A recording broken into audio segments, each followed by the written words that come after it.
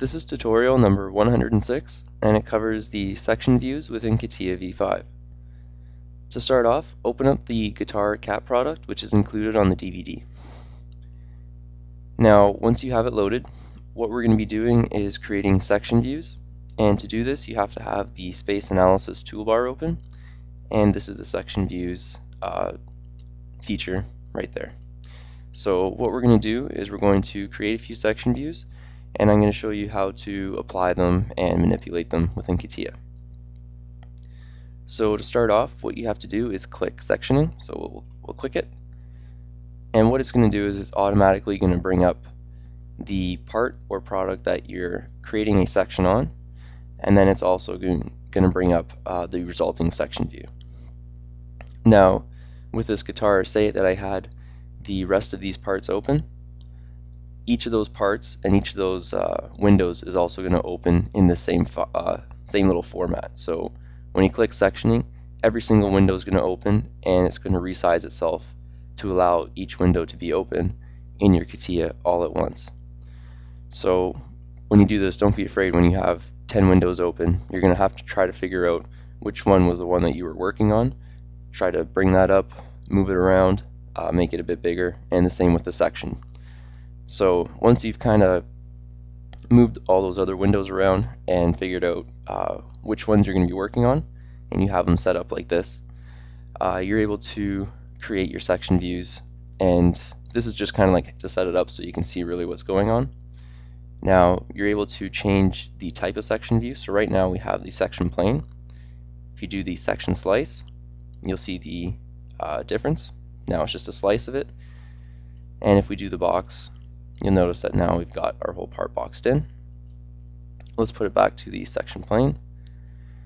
Now you're also able to cut right through your uh, part. So if you click volume cut, you can see that we've now cut straight through our part also. And it's the same with our section view. So it looks exactly the same. Now the section view, remember, is only a 2D, and this is your 3D. Now you can toggle this on and off, it's up to you. Now, say this is a section view we want, let's click OK. And now we've created our section view. So if we go back into our guitar, just open it up, you can see that we have the outline of our section view there. Now, whenever you make a section view, it's going to go under applications. So if you open it up, open up sections, you're going to have your section view there. So you can toggle it on, hide and show, and if you go to window, uh, secondary windows, you can go to your section view. So now you have your section view that you can uh, do what you need to do with, take some measurements, uh, print it out, whatever it may be. So your section view has its own separate window. And if you go back to the guitar,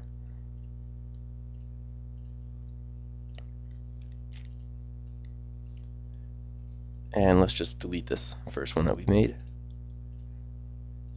and now that section view is gone. So let's go back into it and let's make a few more. So we'll click sectioning.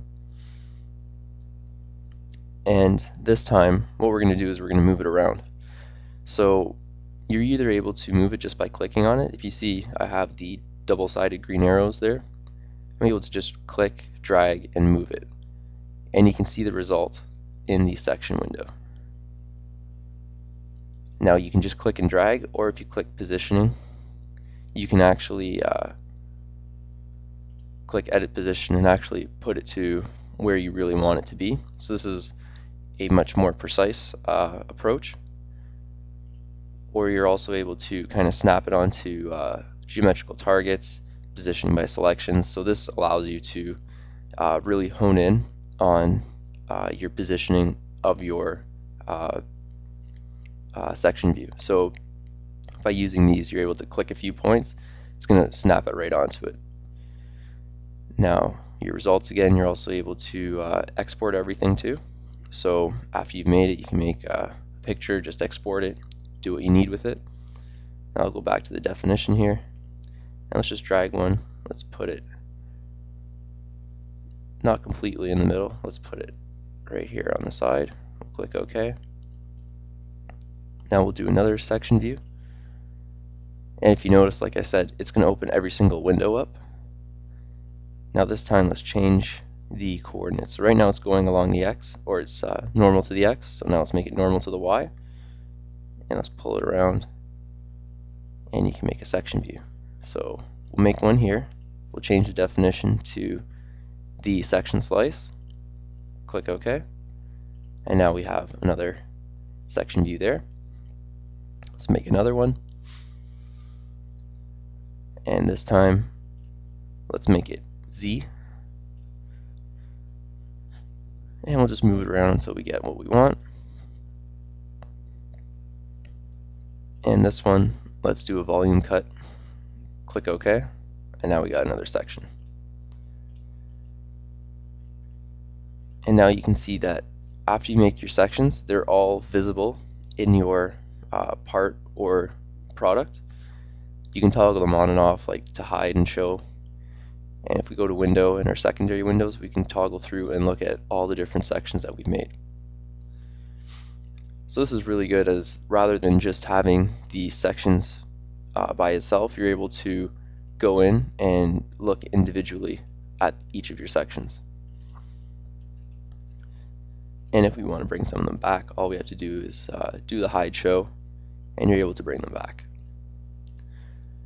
So by using the sectioning tool, you're able to uh, create sections. It's more, it's a visual tool that you need uh, when you're creating your part, so it helps you in the design and the communication of what's going on with your part and what's going on with your uh, assembly and just uh, the mates and the interference and whatnot. So that concludes our tutorial on the section views within CATIA V5.